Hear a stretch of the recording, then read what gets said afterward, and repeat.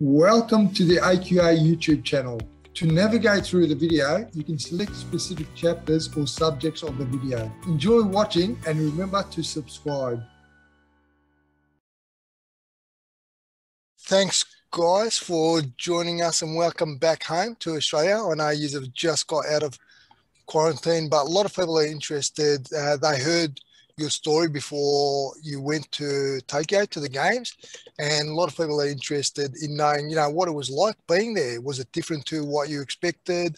Um, you know, was the competition well organised, and how you went in your competition? I know listening to a lot of stories, uh, watching on Channel Seven. Channel Seven done a fantastic job in watching, um, showcasing all the games live and also through Seven Plus as well. So on Seven Plus, you're able to go to any sport you want and watch it live as well. So that was great, you know. Um, I've got a few photos I'll, I'll share too with the people.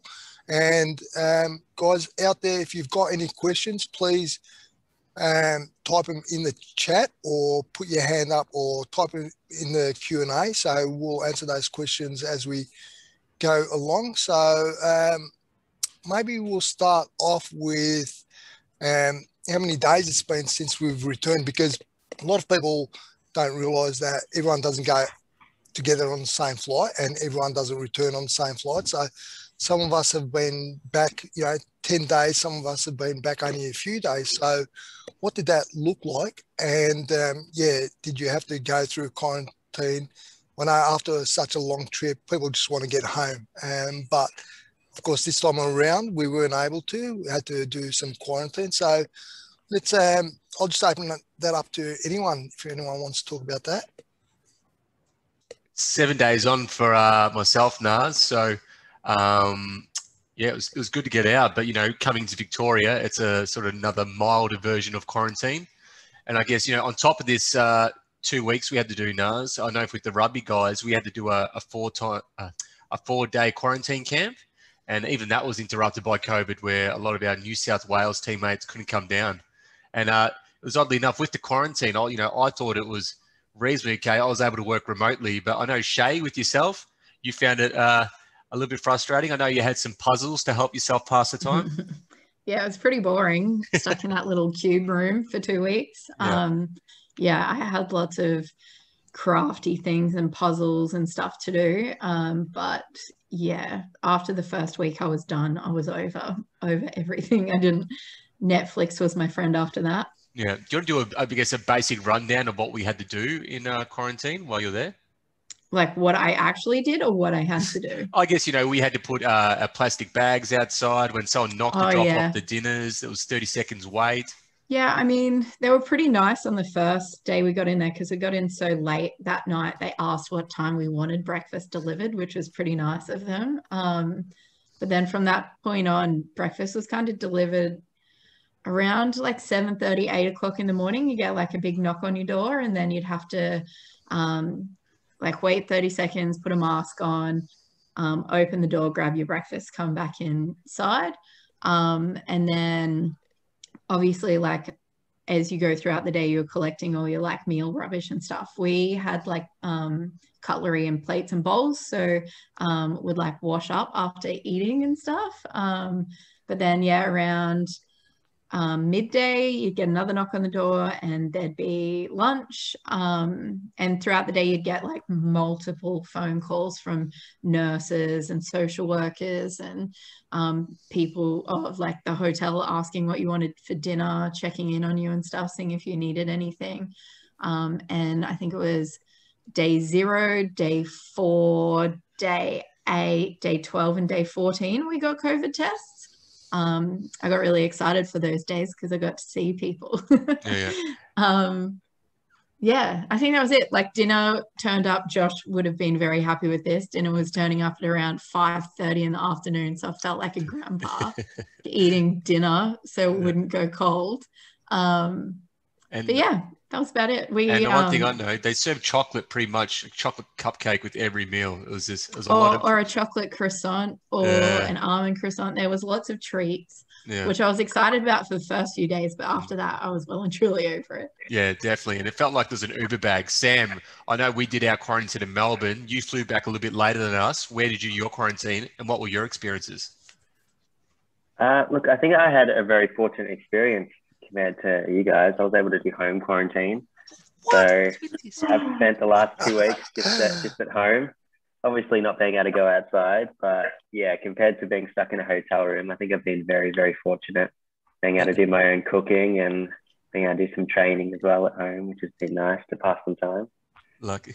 Oh, lucky. And um, I can't believe that. We try. I'm flabbergasted. It's We ridiculous. And must have Stu, taken all the disabled rooms, exactly. And all the Stu, I know you wheelchair did, rooms gone. Stu, you did hotel quarantine as well. Uh, what was your experiences for that two week? And I believe you flew back on the last flight as well. No, no, I did. Um, I did home quarantine. Ah, lovely. So I, uh, It's good. Uh, yeah, yeah, a lot of it out. people didn't know that was an option.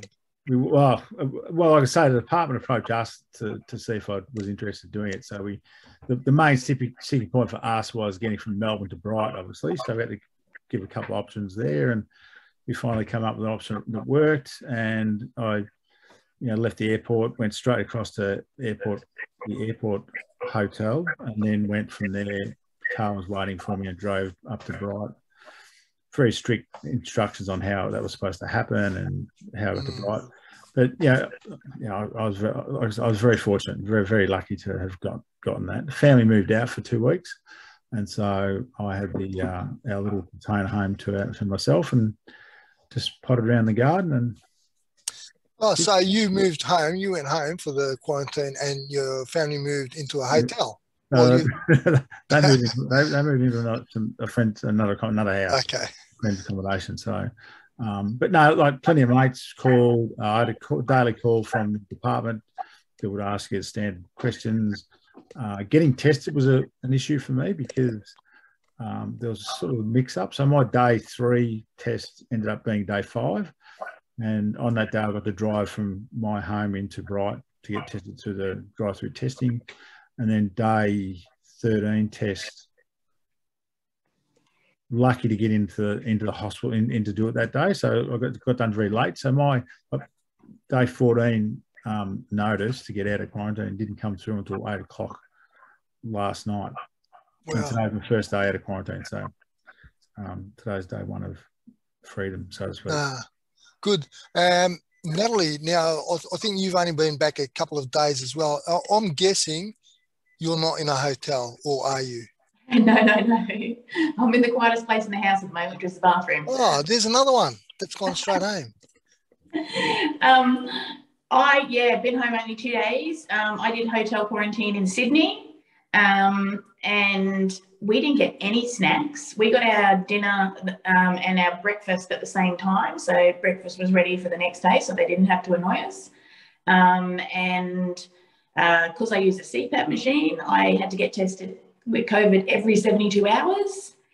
And then I flew home back to Queensland now and um, came home without any of my luggage, including my guns.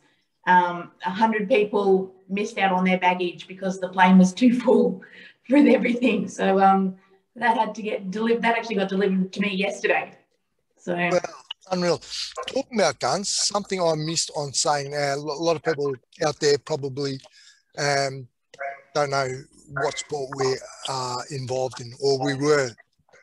So can we just go around quickly, um, starting with Shae, just talking about uh, what sport you were involved in? Yep. So I play wheelchair rugby um, with Josh, and yeah, we didn't have the finish that we were after. We came fourth overall. Um, but yeah, like great experience, obviously, first Paralympic Games, and um, hopefully not the last one. Thanks, Shae. Um, Stu, Stuart? Sorry, Stuart, just can't hear you. Uh. Sorry, mate, I'm muted. Um, I'm a cyclist, a hand cyclist. So I did the time individual time trial and the road race. Uh, came eighth in the time trial and seventh in the in the road race, and probably the most the most brutalest course I've ever done in my career. It was tough. Really? Wow. What about you, Natalie? You talked about guns. What type of guns are we talking about? Muscles or? No, we um target rifle. So I only did air rifle this time. Um, pretty boring. Um, as in, oh, don't say that. Look, there's a lot of people that want to get into it. Don't say it's boring. I know, as far as guns go, like it doesn't make, it oh, okay. make not not a big bang. Um, uh, yeah, um, yeah, no, I went terribly. um, definitely not a result that I was looking for. Um, yeah, don't know really what happened. The guns were having a party without me, I think. So mm. yeah, this time. But yeah, absolutely loved it. Best, I think this is the best games I've been to actually so far. So. I will talk about that uh, further. So, um, how about you, Sam? Uh, I do wheelchair athletics uh, on the track. My events are 100 and 400. I finished fourth in the 100, and oh, I honestly can't remember the four. It was not great. Somewhere yeah. in the eighth. Can I just uh, on that too? I've heard a lot of stories now with lockdown around COVID. Um, I, I, think we uh, we suffered quite a lot uh, as a nation, Australia, because we were we had more restrictions than any other countries. We weren't able to travel, compete, or even train as a team. So all the team sports, uh, they weren't able to get together as a full team for the last 18 months. A lot of the international teams, you know, they were training as normal and also competing. So we missed out on a lot of that. You know, I mean, we, we can talk about not being as successful, um, you know, um, whatever, you know, things didn't go our way, but there's actually a good reason behind it. Um, because I think uh, lot, even though Australia was really successful in a lot of the sports, a lot of the sports that were supposed to do well didn't, only because there was a lot of disru- disruptions around training and competing. Does anyone want to talk about that? Yeah, it was strange. I remember the start line for my 100. I was kind of having that brief last look across at the other athletes I was about to race against. I was kind of clicked in my mind that I hadn't actually lined up against these athletes since 2019. So it's a long time and not really knowing, like you can see their results on like the internet from what they've raced previous in the year, but you don't really know how fast they're actually going because you don't know the conditions and the track surfaces and things that might affect their time. So it was a real kind of just kind of went back to basic racing almost. We'll just go fast.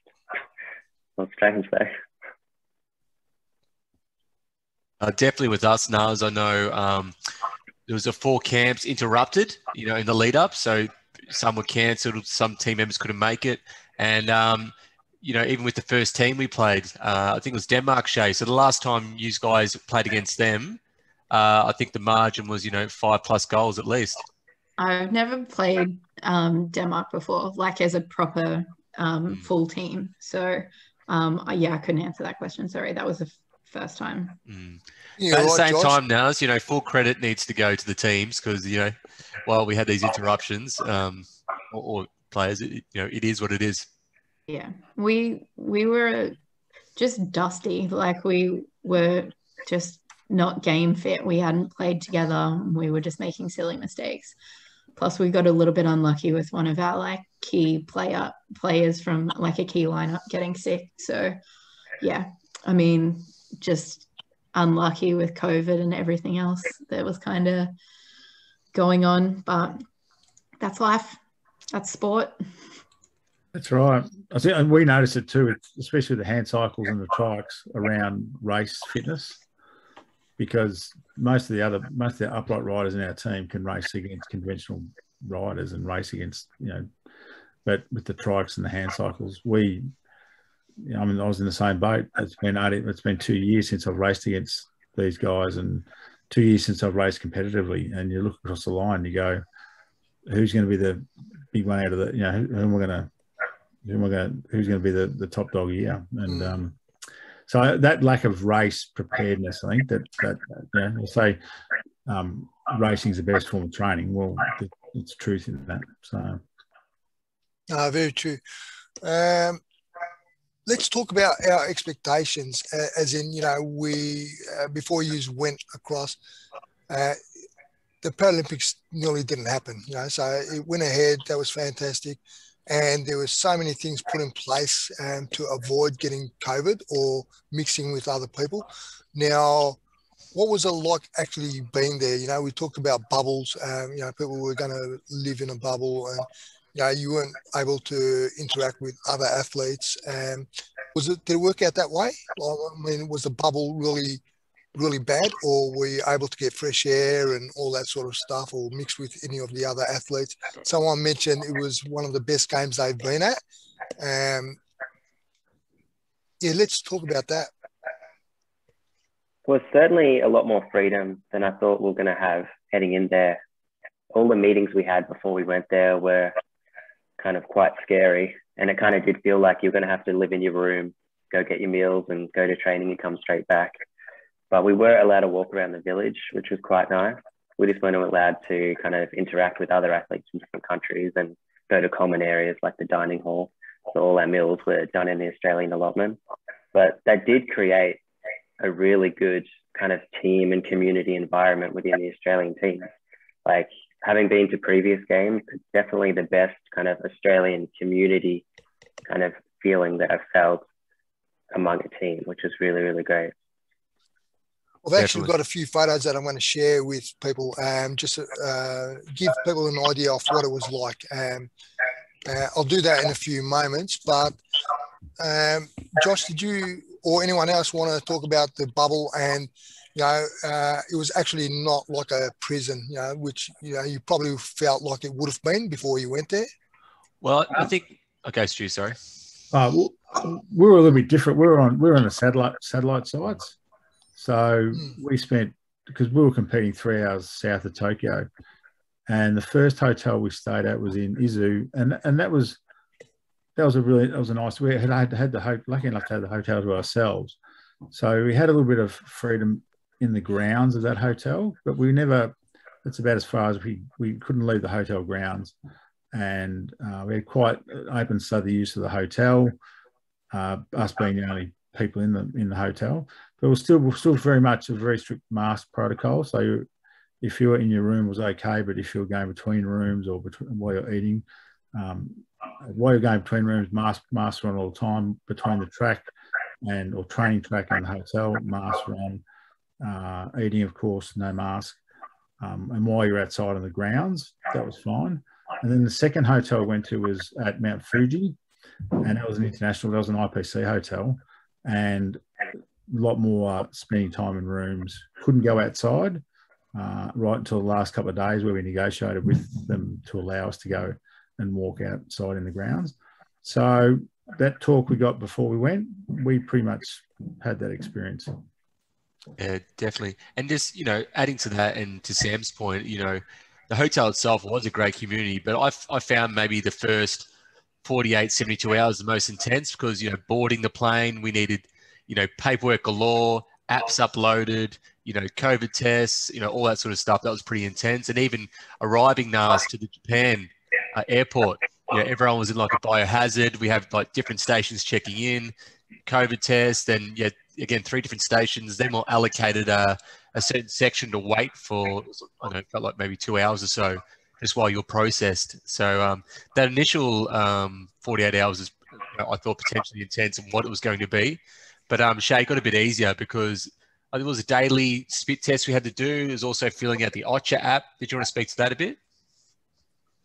Um, yeah, sure. We so I wish they'd bring these COVID tests in to Australia because they're brilliant. You just um, would get like a little test tube thing, and every morning before um, you'd like first thing when you woke up, you'd have to spit in a tube. Um, I think it was like about that much like spit you'd have to put in there. Um, you couldn't have any water, eat anything, or brush your teeth before doing it. Um, and then you just we would just leave it outside our door for one of um, the staff in our team to pick up. Um, so yeah, every day we did that, and um, yeah, first before we were told before we left our rooms that we'd have to fill out an Ocha app, which was just asking um, if we had any symptoms, if we knew of anyone that had any symptoms, um, and we'd have to put in like our temperature. So yeah, that was pretty much the daily routine like waking up and before leaving the room. And Naz, that tracked us, Naz. That thing tracked us. So we had a bit of an address from the AFP saying if there was to be a close contact, so this was initially the biggest fear I guess I felt for myself was, um, as Sam said earlier, that we couldn't really speak to any of the international um, athletes. And if you were a close contact, then you're up to the discretion of the organisers whether you're allowed to compete. Mm. Mine was a little bit different because I'm more of an individual sport. Um, we like um, we had to go out and catch the bus every day, and then we went off to our venue, which we have ranges everywhere, but it was a lot of outdoor area around there too. So we got to spend a lot of time outdoors there, um, a lot of time outdoors just in the allotment. Um, I'd do my spit test, and I'd actually take my own down. We'd take my own down to the um, oh, sort of semi-medical centre thing just to drop it off. Um, really casual, just you know, as long as it was done by 6 p.m. that day. No real, no real organisation. Um, like, still, we were quite happy. We, you know, all of ours individually, um, we had you know so many different countries that we just mixed with at the range, um, and you know, you, you you sat in the um, common area or whatever, and they had their little visors, like screen protectors and things. So you just, you know, you weren't closer than sort of one and a half meters to anybody. But other than that, we saw so many, you know, different country people. We we chatted to them all, you know, like um, yeah, we had our masks on all the time, and everyone was really cool about that. Um, but yeah, it really wasn't restrictive at all for us, pretty much. Well, just want to see. So, uh, did everyone stay at the athletes' village other than Stuart? Yeah. okay. yeah. Uh, I've, I've got a picture too. I'll show uh, to give people an idea of what the village actually is, uh, what it looks like. Just got a couple of questions coming through. Um, Georgina asks, um, um, "Are you guys looking forward or going to take part in the uh, Paris Paralympics?" If yes, what does your training re- regime look like? Um, as as you know, it's only three years away, um, because this one was delayed by a year. The next one's uh, only three years away, so pretty close. Yeah, people keep saying it's only three years, but three years is a long time for an athlete right. to keep training. It's a lot of Ks on the body to try to put up with. But yeah, look, assuming injuries um, don't creep in, I'm definitely going to try to push towards Paris. Yeah. I don't know. I'll see what happens with Worlds first, and then I'll make a decision about what happens after that. To be honest, Naz, I was pretty excited until you know we had to address our KPIs, and you said no. So I guess I've got to I retire. said no. Stu, uh, what are you doing, mate? Yeah, I'll, I'll, I'll, keep I'll keep riding the bike. If they keep having me, I'll keep turning up. Yeah, fantastic. I might have a week or two off, another week or two off before I get back on the back on the treadmill again. But isn't it? Um, people don't realise, you know, uh, you don't just turn up and play. Yeah, you? Know, during the Paralympic cycle, you're training nearly every day, and you don't get much of a break. You know, and you only get a few days off here and there, but it's a big load on your like your, your family life, your social life. Pretty much, you've got to give up so much just to be able to complete at the highest level. And I know you guys have, well, hopefully you've got uh, at least a few weeks off before you get into training. Um, and hopefully you don't enjoy the break too much and you do come, go back to it. I think we missed out Natalie as well, then. Uh, what, what's your plan going forward? Um, yeah, I'm, I'm pretty sure I'm going to go for Paris. Um, our biggest problem is probably will be qualifying because uh, Shooting Australia have sort of said that they won't be travelling out to competitions um, through 22. Um, so um, whether we'll be able to, uh, we usually have our world champs um, in 22, and um, yeah, whether we'll be able to get to those competitions to start qualifying and things like that. Um, so that'll be our issue. Um, getting guns into countries and things is always hard, but it's, it's a bit harder at the moment. So I think um, I think qualifying is going to be an issue for everybody, depending on what happens in the next year or 2 mm-hmm. I mean, yeah. a, a, couple of things. I mean, air travel is becoming you know, more expensive because of less patronage, and um, and then asking athletes to quarantine again, coming back. You know, is that uh, you know coming back into Australia. Um, so you, know, you think you normally go overseas two to three times a year to do World Cups or World Championships, and then um, you've got to come back. So I think there's going to be a lot of planning around how we gain points, you know, Paralympic points for for, for 2024. Yeah. Is it 2025? Yeah. So No, definitely. So hopefully, I mean, uh, you know, the government's looking at uh, once people uh, got double doses, eighty percent of people got double dose. International travel will start to open up. Um, isolation when you return, it probably will will be relaxed a little bit, as in you know you wouldn't have to go to a hotel. You know, you, you might have to, as you you're doing, Stu. Um, you know, go home and do your quarantine there. Got a question from Duke. He he's asking um, about drug testing. So, was the drug testing at the same time as COVID testing? Now they're they're different. I, I think he's talking about the randomized drug testing by is it Asada or Isada that, that do it? Yeah, Water. WADA. Sorry, yes. Well, I was fortunate not to be drug tested. Not that I did anything wrong, but yeah, just not have to go through all that process. Uh, I think Shae, you got picked up, didn't you, a couple of times?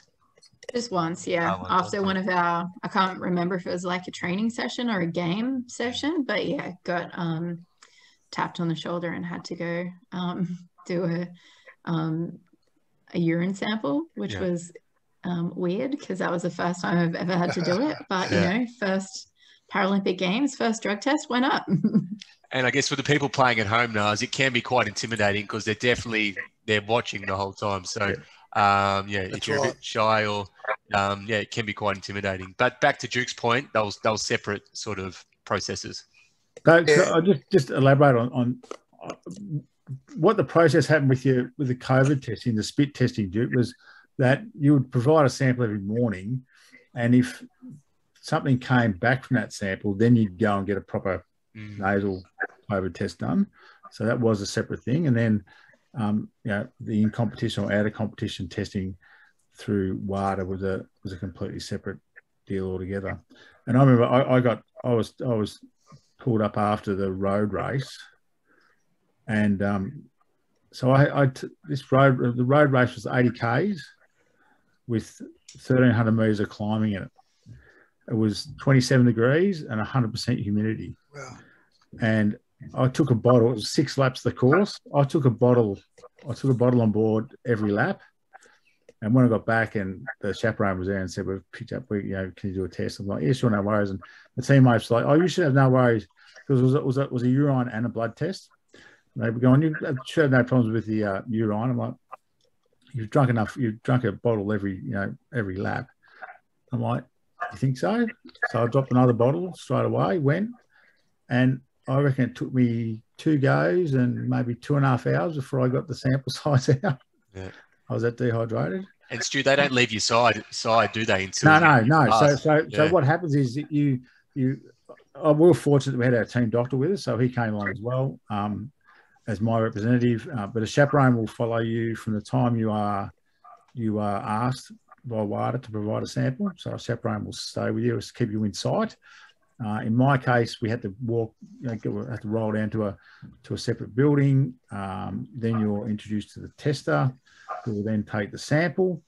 Uh, in my case, I couldn't provide a, a complete sample the first go, so uh, we had to then we go through a process of sealing that that half, you know, that that half the half completed sample in a in a in a bag and fully documented, and then you'll go away, and the chaperone goes with you, and you'll drink another 15 bidons of water, and then you'll hope that when you get by the time you get back to specific gravity, it's not too not too weak, and you'll go back and you'll try again. This time it provided the sample and also gave a blood sample for my biological passport. So, but the chaperone stays with us the whole time, and um, and I was lucky that I, had my, I could have my team doctor with us for the whole time as well. Yeah, it's pretty serious, isn't it? You know, they want to make sure you don't sneak Oh, away of or course, yeah, no, and, and, and, and, and, and so it should be too. Like, I mean, it's, I'm right behind that. But also, is this true now? They have to actually see you piss or urinate into the bottle. That's correct. Yeah, Naz. they um, yeah, That's you gotta pull your pants down and pull your top right Pull up your top above. up. So Yeah.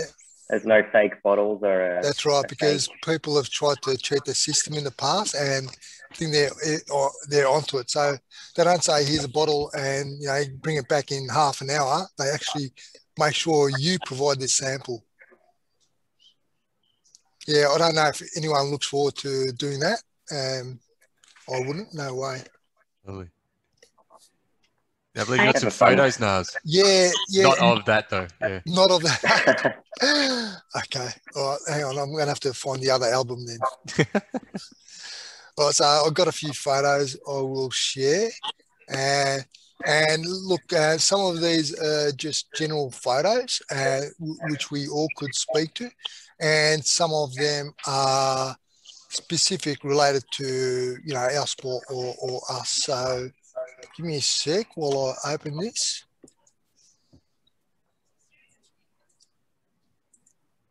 Right, I'll share my screen.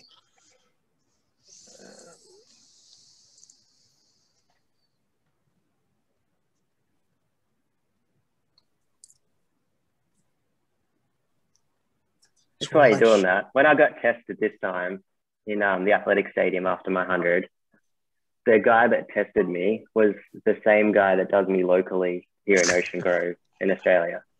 Of all places around the world, this one specific guy from my hometown tested me Wow. stadium in athletics for in Japan. I think he's got a crush on you, mate. I think that's what we're going to say. Ah, Alright, So it's worrying when they chase you around the world to watch your pee. yeah.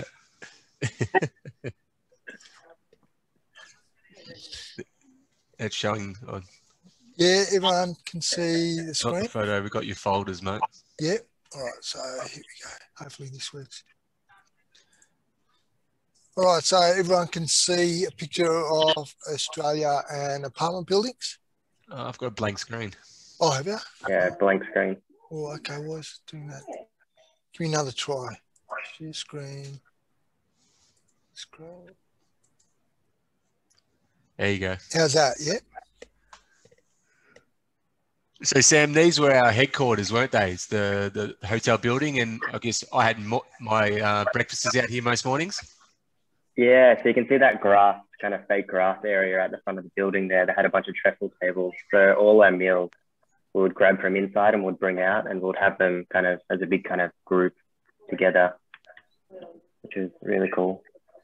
And that was because people weren't allowed to, like you said, Sam, um, go to the dining hall to eat. So there was a special areas provided for just the Australian athletes to have their meals.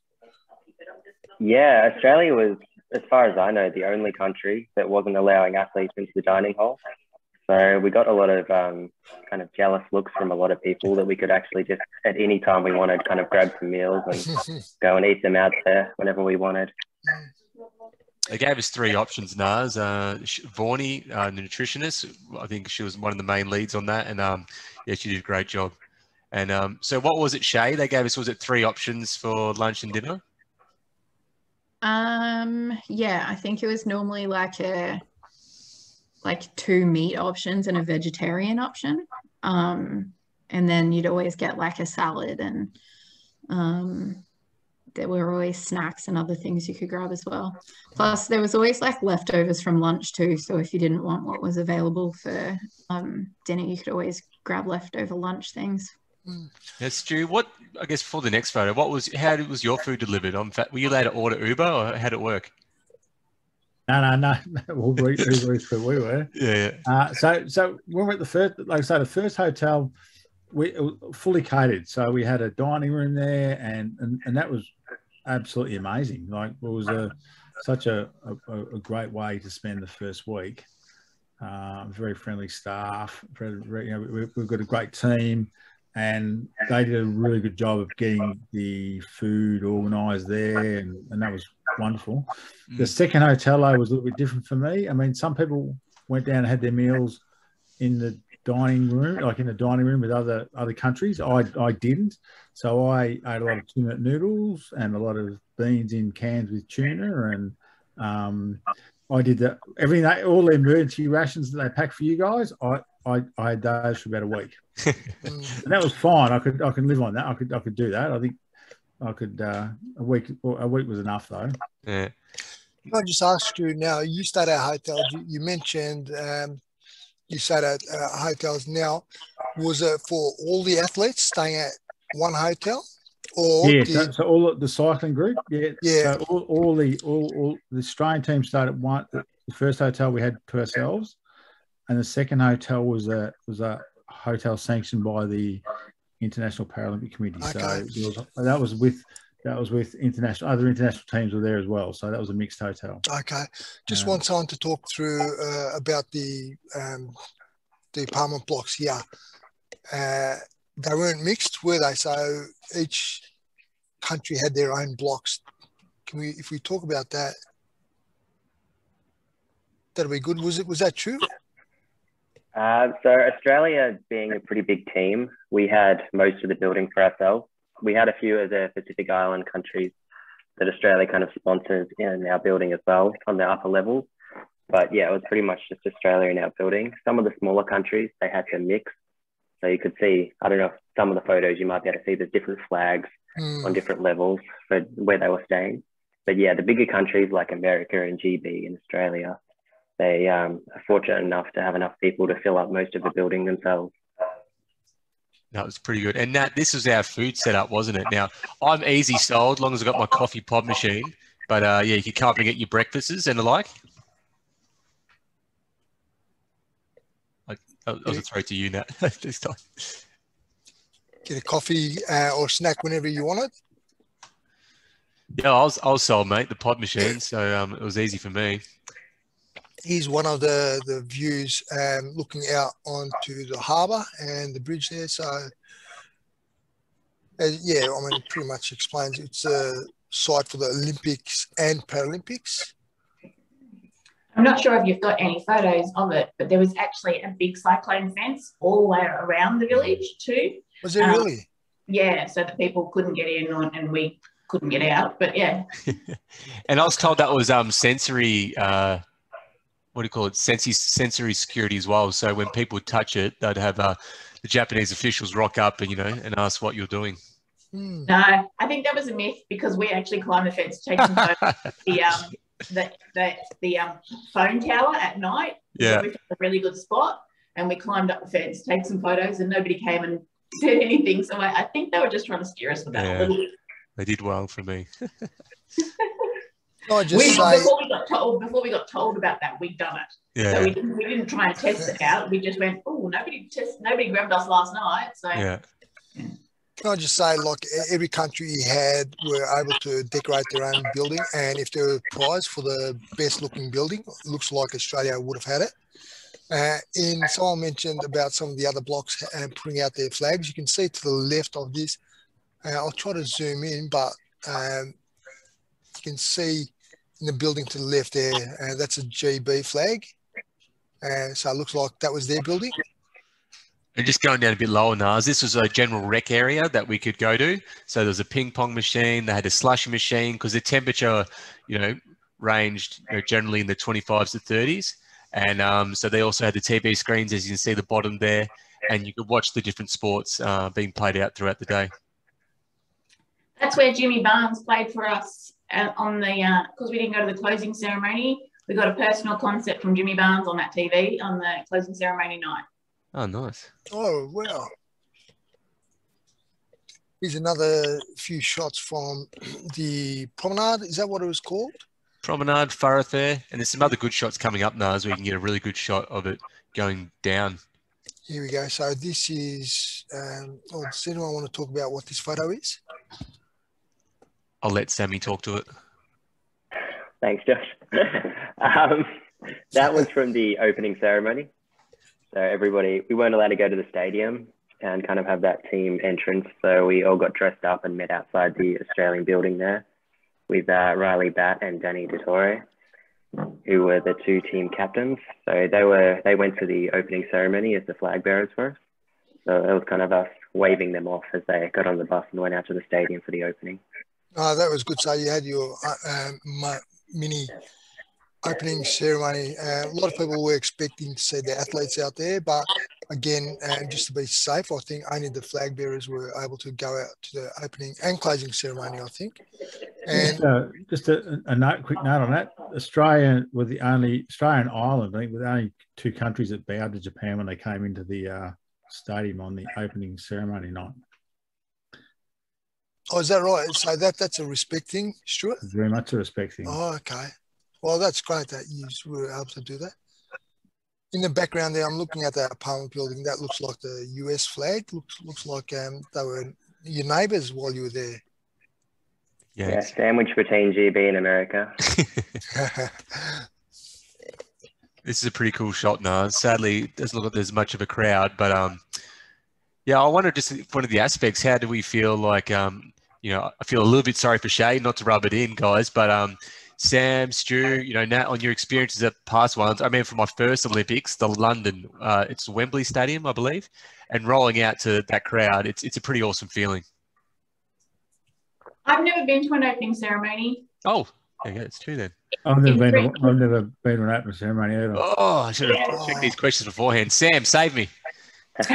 yeah, um, London was my first one, like you, and yeah. Um, yeah, that the feeling of walking out with the Australian team and hearing a, like a whole crowd in the mm. stadium, like absolutely packed, like eighty thousand people. It's yeah, it's a really unique experience that you're definitely going to hold on to for the rest of your life. So it does, it is a little sad knowing that some of the debutants didn't get to experience that, or some people that have been previously haven't experienced that.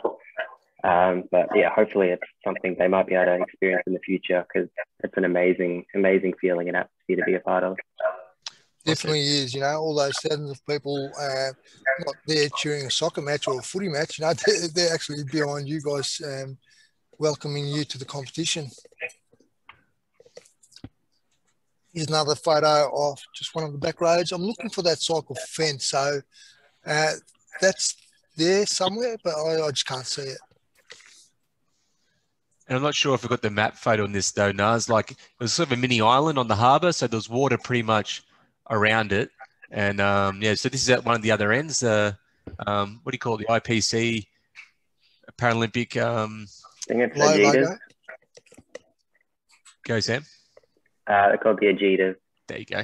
Very knowledgeable. And and you can see on the asphalt there, so it looks like there's a word missing, but it looks like wear a mask or put on a mask just as a reminder, I think, for people to. Didn't work all the time, Naz. I saw a lot of photos with and without. yeah. yeah, okay. Here we go, Josh. This is the photo you're talking about. Yeah, so you know, it's articulating that there's a bit of a harbour around us, and uh, maybe just put the mouse on where our building was. So you're around here somewhere. No, the, just the inner side of the the thoroughfare, and um, so yeah, as you can see, it's like a little mini city with you know all the different nations, and um, so I'm always so go. All that area is close to the public, isn't it? So all that is for the athletes. Yeah, correct. And the one thing that I find amusing is laundry. You know, fun fact while you're there, so we all have an accreditation, which is pretty much like a passport. And um, where we drop ours off would be at the what do you call it, New Zealand building, and um, you rock up with your your washing, you scan your um, accreditation, and if you got in before ten o'clock, you'd have it back that evening. And um, yeah, you can only imagine the amount of laundry they would get. Um, it always blow my mind that. So, fun fact for the viewers at home, does. We got another great photo here. So this is an area that's open to the public, but Australia took ownership today of this area. Well, I think Shae, we are we are allowed on the inside in the green bits, but then there's still international people walking through. Yeah, it's just a walkway. Like we're all just standing there that day. That's like our pre-opening ceremony ceremony mm. thing. But um, yeah, those were just walkways. The green bit off to the side, that's like another area where we kind of ate and stuff. Just want to zoom in, look at the other apartments here. You can see some flags on the balconies there. Um, Italy, is it? Uh, yeah, I think that's Italy. It looks like there's another country. It might be Italy again, or no, maybe not. So you can see each each building is sort of um, decorated with different flags or signs, and yeah, you have to agree, Australia was the best looking one there. Here we go. So here's some photos from the wheelchair rugby. And Josh, Shae, these might be your photos. Just a team here warming up. I think Shae was uh, lucky to get that one. And um, so we had three training um, sessions in the lead up. I think it was three, and then one practice game. And um, yeah, you know, just getting a feel for the stadium, uh, looking through. And then this is that thoroughfare we're speaking about, Naz. So they've got all the nations with the their flags going down. And at the end of that road to the left, you had um, the international zone for the, all the food hall. And then also that's where you depart. Excellent. That's a great photo. Yeah, it was um it was warm every day there. it's good. But funny enough, while you say it was warm, uh, if I can just um, go off it, Sam, with your racing, mate, it was warm, but then when uh, some of your races, the rain came pretty much.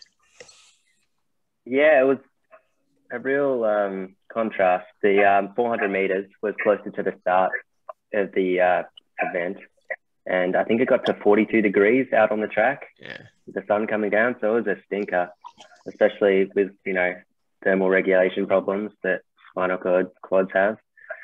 Um, but then, yeah, opposite to that, when I did my 100, it was 22 degrees and peeing down rain. So, yeah. That's Yeah, an awesome really segue, Sam, to thermoregulation. So this is our recovery setup. This is just for the Australians in the bottom basement, and uh, so anyone from Team Australia could use it. And uh, to Sam's point that he raised, uh, for some of us quads, we use it for both recovery and thermoregulation, so to bring that temperature back down. And uh, when we say ice baths, the temperature is generally around 14 to 15 for us. But then uh, for those that are amputees, they may have it a bit colder and also do a longer du- duration. Actually, I think Shae, this is one of your favorite recovery techniques.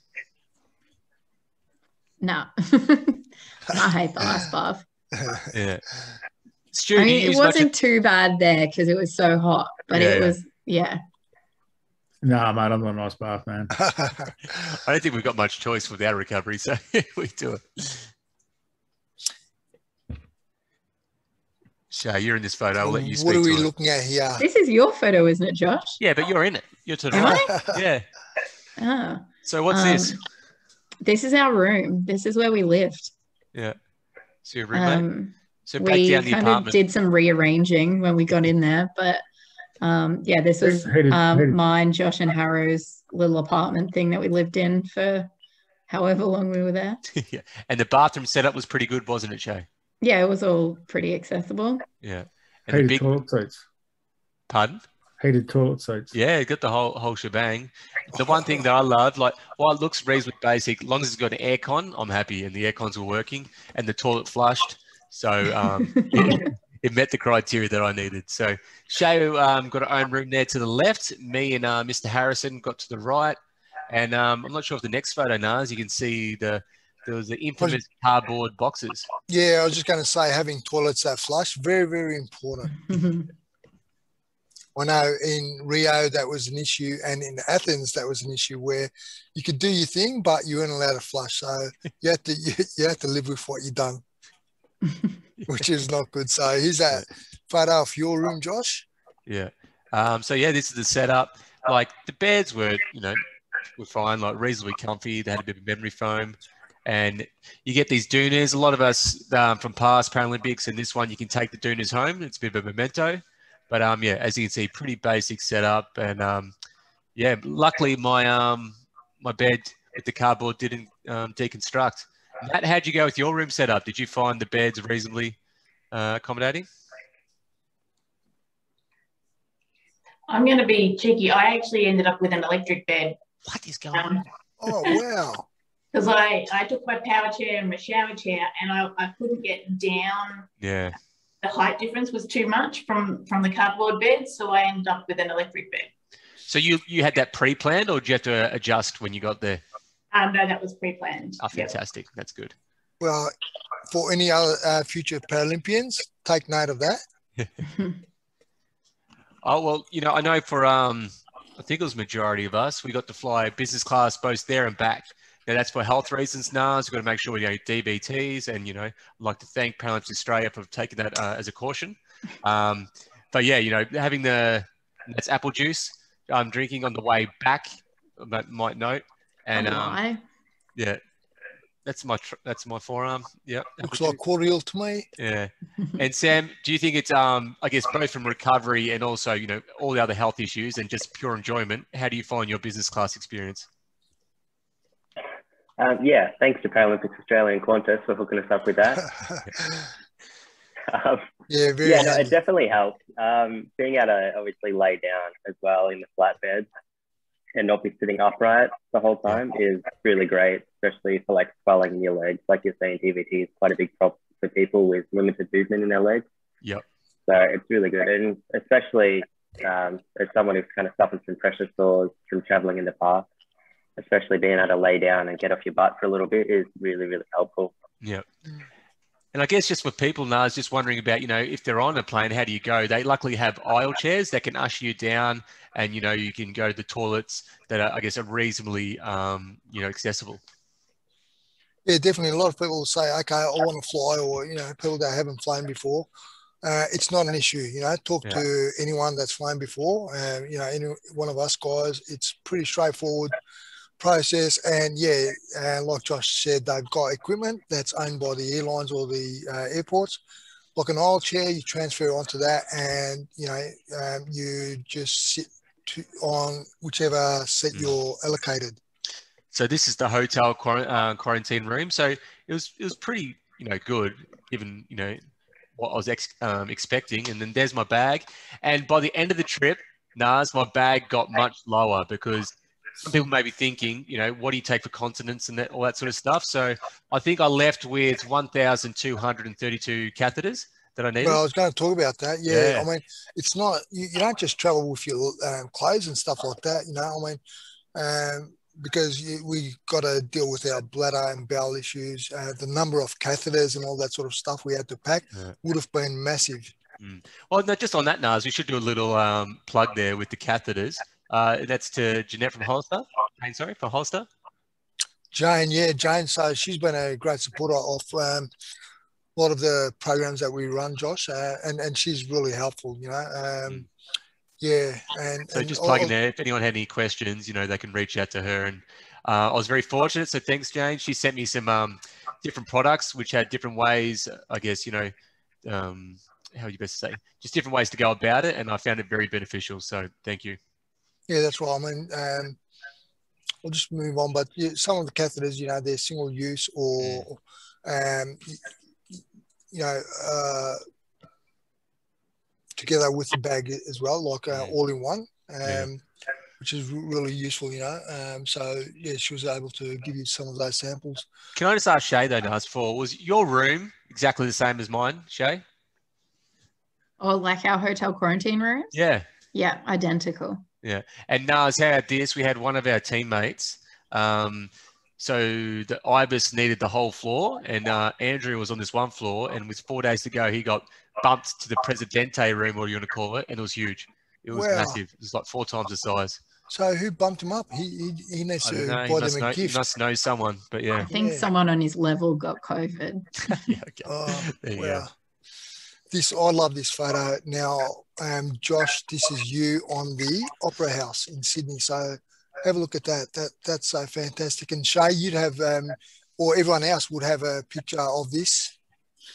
Yeah, everyone it's- should. This really Good sort of hit home now. It's just, I guess, like you never, I can imagine even, you know, as a kid, even from your injury, did people expect to, you know, to see, you know, that they put your face on the, the sales? It was pretty awesome, Stu. Hmm.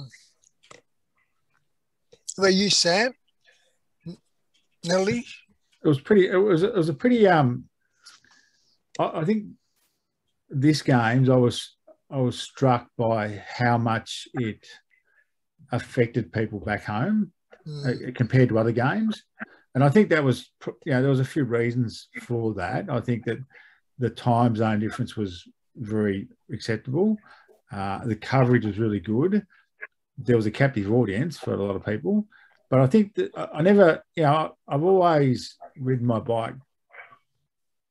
You know, people have known me for years since I've been riding a bike, and they've, they've always known I've ridden a bike, but they've next, never actually seen me ride a bike before, Hmm. let alone see me race in a in a in a in a, in a, a Paralympic Games. So, and I never, I never it sort of hit me that the amount of excitement that it was generate the, the games are generating back here in Australia. Like that really came home to me when I was um, over there after I'd competed about just the comments on my social media about how that the games as a whole were just lifting people in Australia and how how excited they were for them. That it really was, Drew. Yeah, definitely.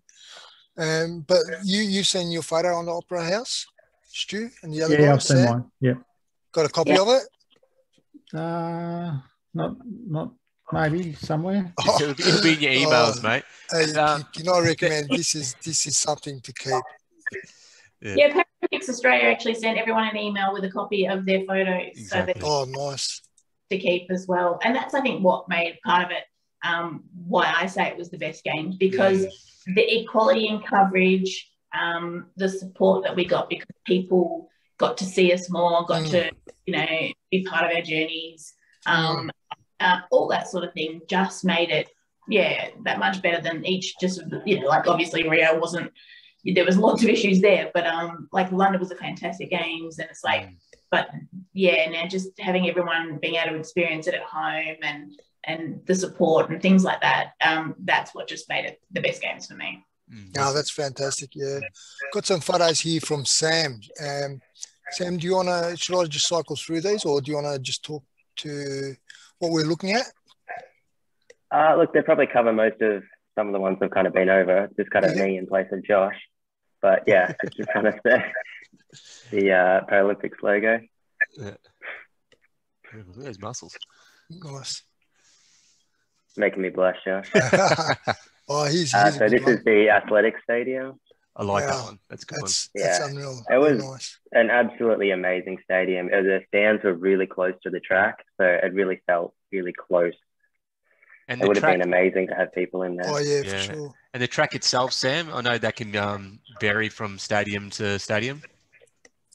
Yeah, so this was a brand new surface that a company called Mondo that makes track surfaces for major events have come up with, and it was really, really fast.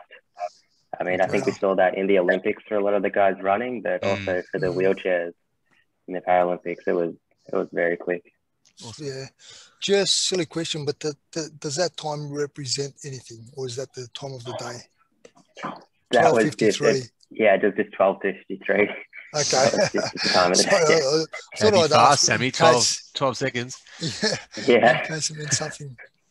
Uh, so yeah, similar to Josh, just in that thoroughfare with all the flags. Being dramatic, naturally. and can you see that um, big white tower at the end? Mm. That was actually their garbage disposal. So all of the garbage there, yeah. it's bigger than the buildings, um, gets put into that, and um, it's like a giant furnace, but it doesn't create um, pollution supposedly. Mm. Well, Look, uh, I would have never have guessed that. Uh, it just looks like a, another apartment building. Mm, we took, everyone was like, what is that? What is that? So we eventually found out, tried to find out what it was. And that's what Unreal. it turned out to be. Well, here's a question. What's that writing on the floor there? Anyone? I'm assuming it just says stop, probably. Slow down. yeah, it was okay. the end of the road, so it's probably a stop sign. okay. And got some more rugby photos uh, of Shae playing Japan there saying, "Come on, what are you? What are you up to? I've got, I'm all over you." Is another nice shot. Maybe just also asking some of the guys, Naz, there's a question in there. Are they wondering how long were we actually over there for? Anyone I can't even answer that. I don't know. How long were we over there for? well, I know for us, Shae, we had a four day pre camp, and we're over there for about 10 days and then two weeks on the return. Um, Stu, you were going to say something? I was I was in Japan for 18 days. Yeah. See, this is a photo we got in trouble for because we took our masks off. is that right? But we're not in Japan anymore. So showing everyone. oh, that's good.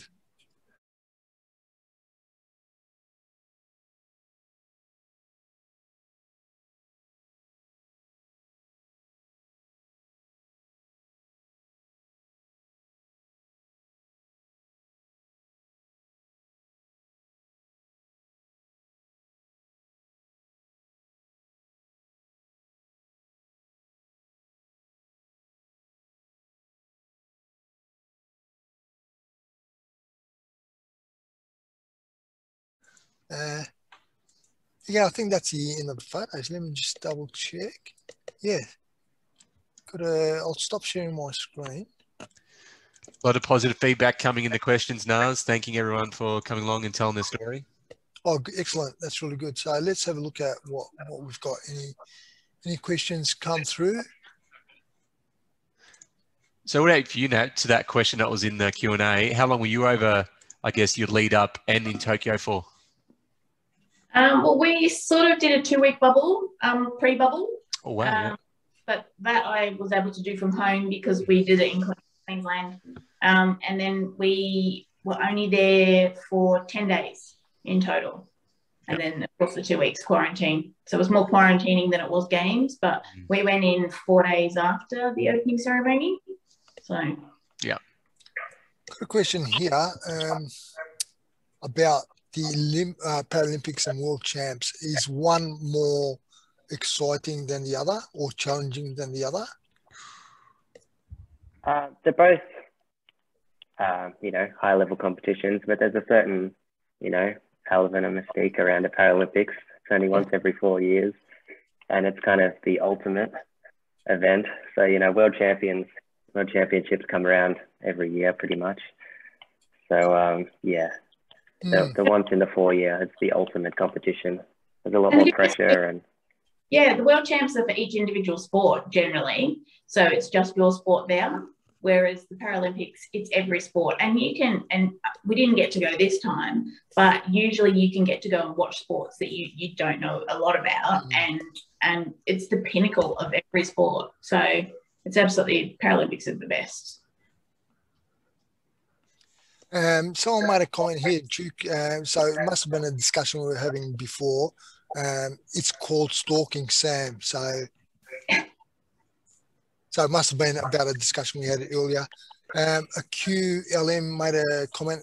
Agitos, again, might have been about something we were talking about earlier. Um, we just answered the question Josh mentioned. How long were you guys there? Everyone was there at, for different times, weren't they? They had to get there just before the event and uh, return soon after the event was um, finished. You couldn't wait for the closing ceremony, unfortunately. That was another thing that sort of people missed out on. Um, Jane said, Thanks, Josh and Nas. Naz, you're a legend. She said, no, I just made that last. Yeah, I think we all knew that one. So yeah, beautiful. um, what else we got? Tim, and uh, these are great picks. Aussie, Aussie, Aussie. Thanks, Tim. Thank you for all your time today. It's been great to hear your experience firsthand. I'm sorry I have to scoot for work. Uh, thank you from Stephanie Smith. Uh, I know the session is recorded. I'll watch it back again tonight. Thanks again, Stephanie. So I think what we're looking for now is, is wrapping up and thanking everyone for coming, now, aren't we? Yeah, so I just wanted to make sure we went through all the comments and uh, if there was any other questions. So it looks like um, that's all we've got. So I think, yeah, we'll wrap up now unless anyone wants to make any comments, say anything before we close off. Um, a couple of more thank yous coming through. I look forward to watching several of these people dominate in Paris Naz. Yeah. While I eat olives and uh, have a vino in my hand. Don't act like you won't be there, Joe. no. yeah. Rosemary said, Thank you very much. Very interested hearing firsthand uh, what it was like and seeing the photos. Watched a lot of the Paralympics and loved it. All the best for Paris. Hopefully, a more COVID free environment. So I agree. And I think everyone um, thinks the same way. Awesome. So, any finishing comments before we close up? Thank you everyone for joining us. I think thanks, yeah. Shane, Sam, thanks Nat, Stu. Yeah, no, so yeah, thanks everyone for joining us. Um, as Josh said, Shae, Stuart, Natalie, Sam, Josh, and Naz, thanks for presenting. Um, yeah, if anyone's got any questions down the track, um, please, um, yeah, get in touch with AQA and we'll put you in touch with any of the athletes here, uh, how you can be involved or if you've got any other further questions. So thanks again, everyone. Um, Thank you. See you guys. Have a good afternoon. See Ciao. See you See you later. later. Ciao, ciao. Bye.